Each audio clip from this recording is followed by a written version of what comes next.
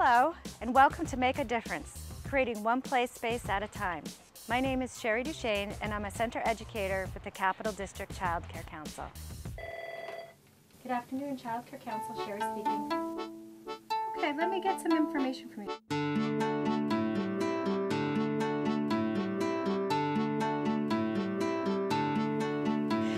It starts with an intensive technical assistance visit. What does the environment need to make it engaging for children? And can we really do a makeover for $500?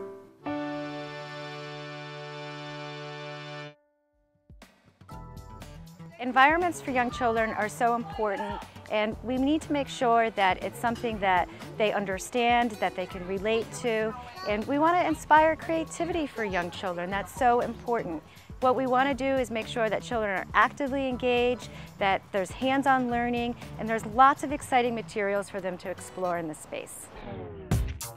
One of the things that was missing in this environment was very clear defined spaces. The children tended to gather in the middle of the room and there were no interest areas for them to break out in small groupings. These small groupings are so important. That's where children are beginning to form friendships, where they're learning to take turns, and they spent a lot of time in a large group. One of the things I wanted to do for this space for her was to create these defined interest areas during choi choice time, I had to get bins up from storage or out in the hallway. We didn't have shelving and the heaters were falling apart. Closet over there where the doors fell off and I let the kids play in there because they liked it. Um, it was a mess and we called it our book nook or our cozy area and it wasn't really cozy. We're going to go take a look inside and see how children are learning in this space.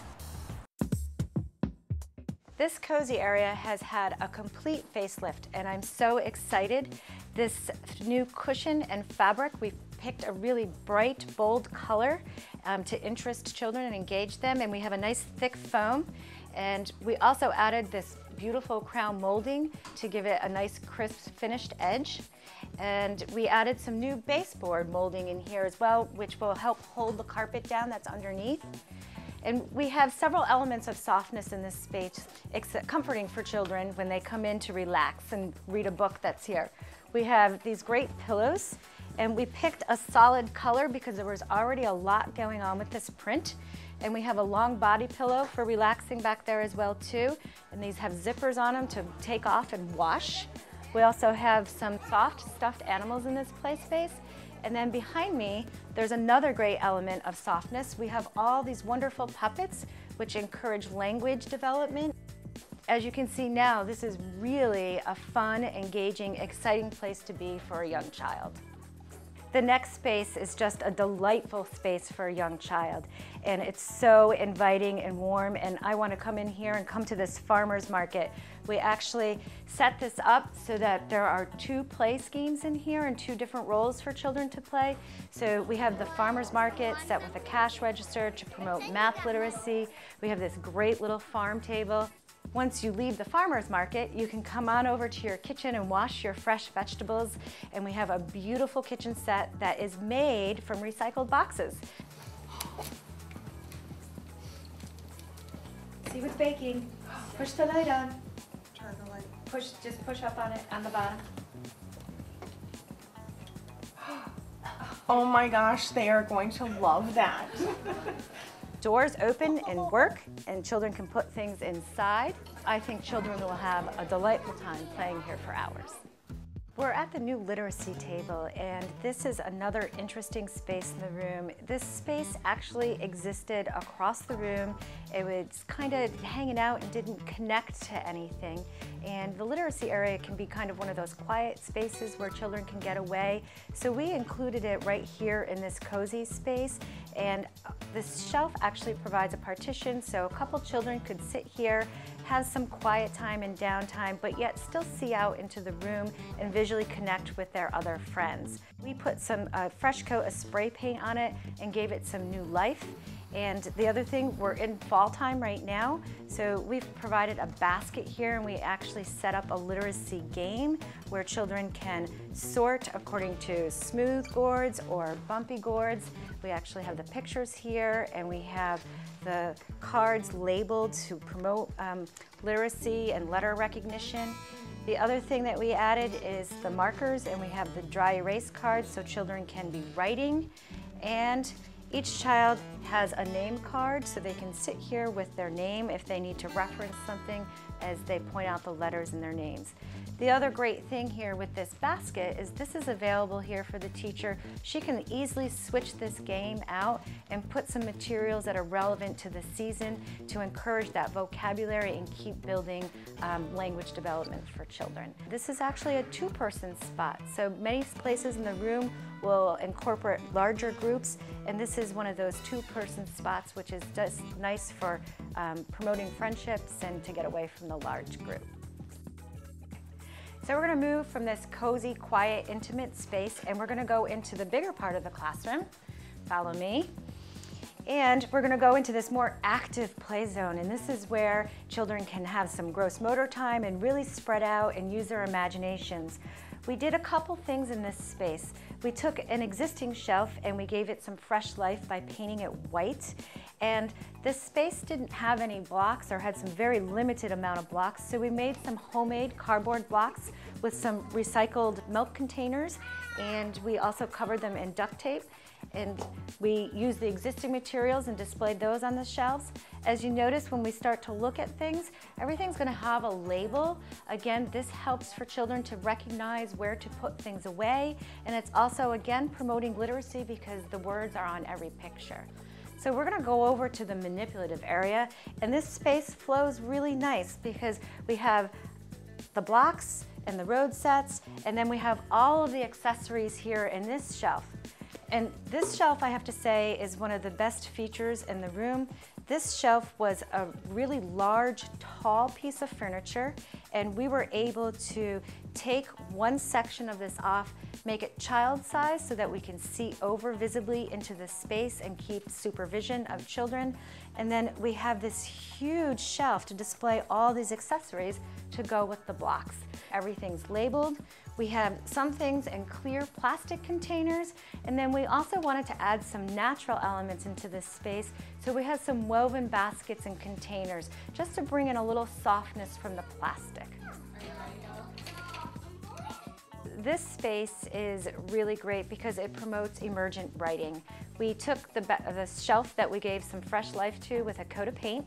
We put some blackboard paint on the back, and now we have a great little place to sit on this wooden stool, and we have a bucket full of chalk and erasers. And again, this is a place where it promotes two. We have two buckets, so we have the friends can come back here and they can be drawing and writing their names. Kristie, these pictures that you took yesterday, they're fabulous. And I love how you took these outside and we have some natural light. So what we're gonna do is we're gonna do a little project to personalize the cubby space. And I have these popsicle sticks and you're gonna use the hot glue gun and we're going to make some frames. And you also made their names. So we're gonna personalize this and each child will have their name on their photo and this will help um, with name recognition as well too. Great. 12 more to go, right? Yeah. Excellent. We had the children involved in this makeover, which is really exciting. And I think when they come in and see their faces here on their cubby, they are just going to be thrilled to see that. So we have this personalized space for children, but we also thought it was important to protect and preserve some space for the teacher. And to honor that, we brought in this desk. It's a slimline desk, so it doesn't take up a lot of space in the classroom. She can sit here at nap time and she can supervise the whole room and see everything. And she has an adult space, which is really important in a classroom, that a teacher has an adult-sized chair to be able to relax and do her work. One of the unique aspects of the design that already existed in the room were these great cubby shelves. And giving them a fresh coat of paint really transformed the space. We purposely chose simple items to put in each cubby and the reason why we did this is that a child can easily come up, decide to take one of these trays out, and then take it to the table that's right across here. And then when they're done, they easily slide it back in. And then to support fine motor development, we also have all the puzzles displayed in here. And again, instead of stacking all the puzzles on top of each other, we put one puzzle in each cubby space, and then it's really easy for a child to pull it out. It's also easy for them to stand here and make a choice and decide which puzzle they would like to work on. Now we're into the creative zone and the messy zone.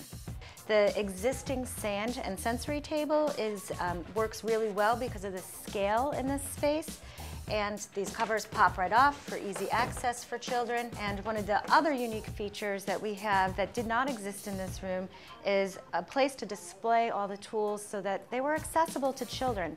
As it's important for children to be able to be independent and make these choices.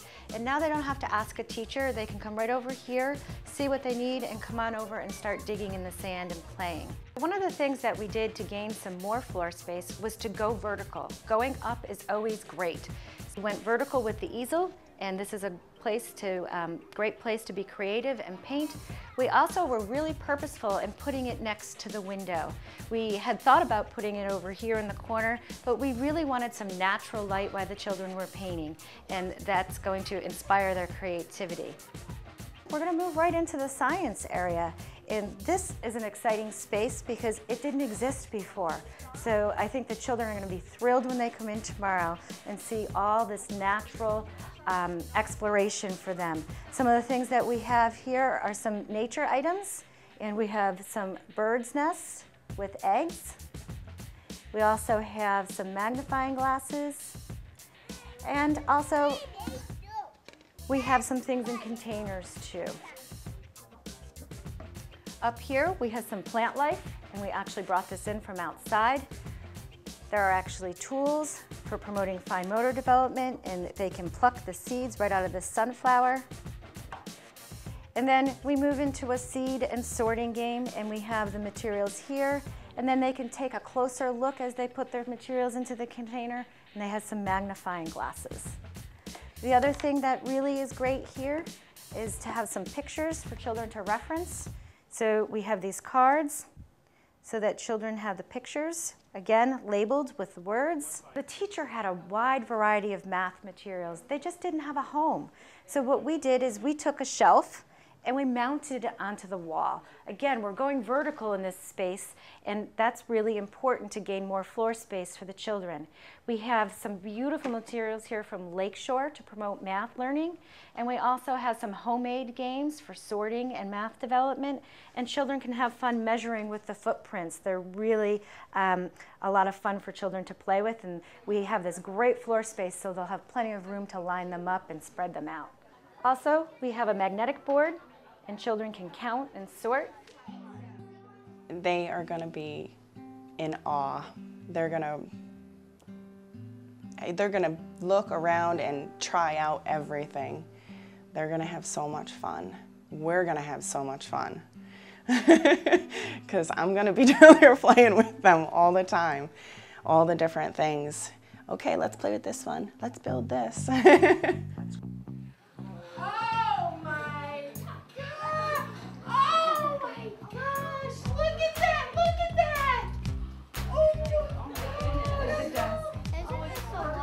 very impressed with how quickly they were able to turn around such a big project. The kids are going to have a blast. It, was, it looks like a great time. I'm going to have a blast myself. During that time, I might hit up that chalkboard. They had uh, a little art center, they had a kitchen area, they redid their little clubhouse cubby area, so to speak, with the pillows. My one little daughter loves it.